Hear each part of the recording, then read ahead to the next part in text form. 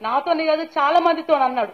తను ఒక ప్రణాళిబద్ధకంగా ఒక తను ఒక సిద్ధాంతాన్ని తను చిన్నప్పటి నుంచి నమ్మిన సిద్ధాంతాన్ని ఆ సిద్ధాంతాన్ని ఏ విధంగా ముందుకు తీసుకుపోవాలనేది ఆలోచిస్తూ గత ఆరేండ్లుగా భారత రాజ్యాంగాన్ని తన చేయిలో పట్టుకొని ప్రతి ఒక్క జెండా చుట్టూ ప్రతి ఒక్క ఆర్గనైజేషన్ చుట్టూ చిన్న పెద్ద ఎవరు పిలిస్తే అక్కడ పోయి ఆ భారత రాజ్యాంగం గురించి ఎక్స్ప్లెయిన్ చేస్తూ వాళ్ళ అనుభవాలను తీసుకొని తను ముందుకొచ్చాడు.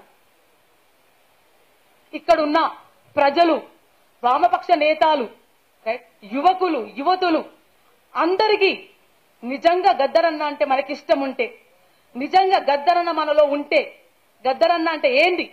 గద్దరన్న అంటే ప్రజల మంచి is a first human being మనుషులు ప్రేమించేవాడు బల్లను ప్రేమించేవాడు తన మైకిని ప్రేమించేవాడు తన కాలు కట్టుకున్న గజ్జెని ప్రేమించినవాడు. నడుస్తుంటే చీమ కనిపిస్తే చీమ చచ్చిపోతారని పక్కకు నడిచేవాడు.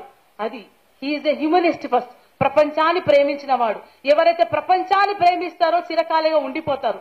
ఆ ప్రపంచం అంతా సమాజంగా ఉండాలని తన ప్రాణాలు అర్పించిన వాడు తనే కాదు ఎంతో గొప్ప వాళ్ళు ఉన్నారు. వాళ్ళ ఆశయాన్ని ముందుకు తీసుకెళ్తూ తను ఒక సింపుల్ ఏ ప్రాబ్లం అయినా తను చాలా సింపుల్గా విడగొట్టి తన పాట రూపంలో ఇచ్చేవాడు. అలాగే తను అనుకున్నాడేమో తన చివరి గడియల్లో నేను ఈ నవతరానికి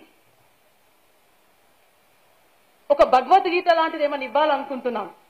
ఒక కురా లాంటిది ఏమైనా ఇవ్వాలనుకుంటున్నాను. ఒక బైబిల్ లాంటి ఒక పుస్తకం ఇవ్వాలనుకుంటున్నాను. అది కాన్స్టిట్యూషన్ భారత రాజ్యాంగం. ఆ భారత రాజ్యాంగం అని మీరు ముందుకు పోతే నెక్స్ట్ నలభై ఏళ్ళకి వెన్నెల మాట్లాడాల్సిన అవసరం లేదు ఇంకొవరు మాట్లాడాల్సిన అవసరం లేదు ఈ స్టేజ్ మీద.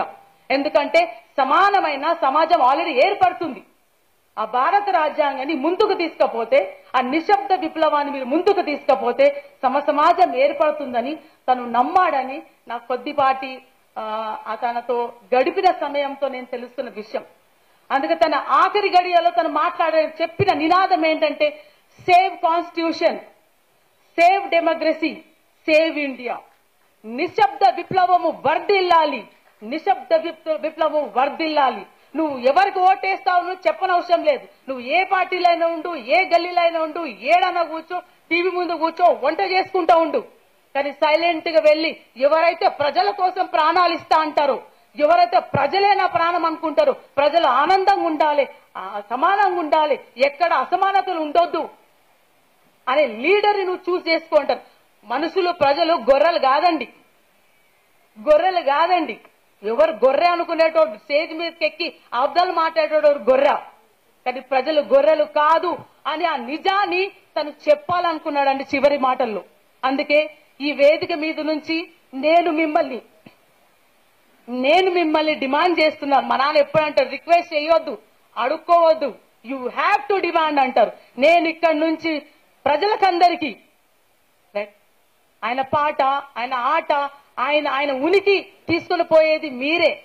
మీ వెనకల మేము నేను చెప్పాను కదా అక్కడ వచ్చి ఎక్కడో నిలబడి చూసేదాన్ని అలాగే మీరు మీరు కలిపి మనమందరం కలిపి తన చివరి ఆశయాన్ని ముందుకు తీసుకుపోవాలని నేను ఇక్కడ నుంచి కోరుతున్నాను డిమాండ్ చేస్తున్నాను.